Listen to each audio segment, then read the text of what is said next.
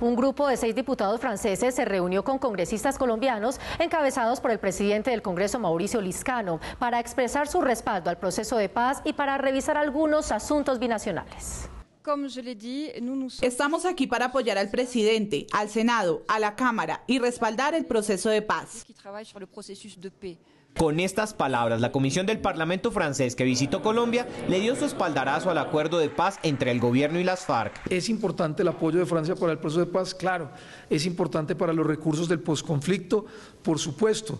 Ellos no vienen, como lo tratan de hacer aquí, de volverle una decisión política. Ellos vienen es apoyar un proceso. La paz hizo que los ojos del mundo se volcaran sobre el país. Hace unos años era impensado que un presidente de Francia se desplazara por las veredas de Caldono Cauca. Y esta semana se dio el hecho en la visita oficial del mandatario François Hollande, quien estuvo acompañado de seis diputados de la Asamblea Francesa. Con este acuerdo se tiene la mayor oportunidad de lograr la paz que el pueblo colombiano se merece. Esta paz la apoyaremos y movilizaremos a nivel internacional, llevando el mensaje de paz a otros países para que también manifiesten su apoyo.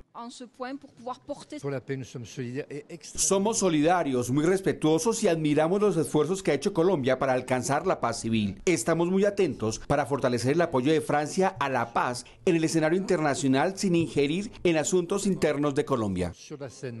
Este apoyo es muy importante para impulsar internamente y en el mundo la implementación del acuerdo de paz. Además, Francia puede aportar en muchos aspectos durante el posconflicto. Eh, un tema es el tema económico, pues ellos han dicho que obviamente que no van a, interferir en temas internos, pero que para ellos es importante apoyar eh, con recursos de la Unión Europea a Colombia en el proceso del posconflicto. Eh, también obviamente la entrada a la OSD va a ser una oportunidad. Ellos como parlamentarios franceses han dicho que respaldan todo el proceso de paz, que están muy contentos y felicitan al pueblo colombiano por las decisiones que se han tomado frente al proceso, que de verdad el mundo nos ve de una manera diferente.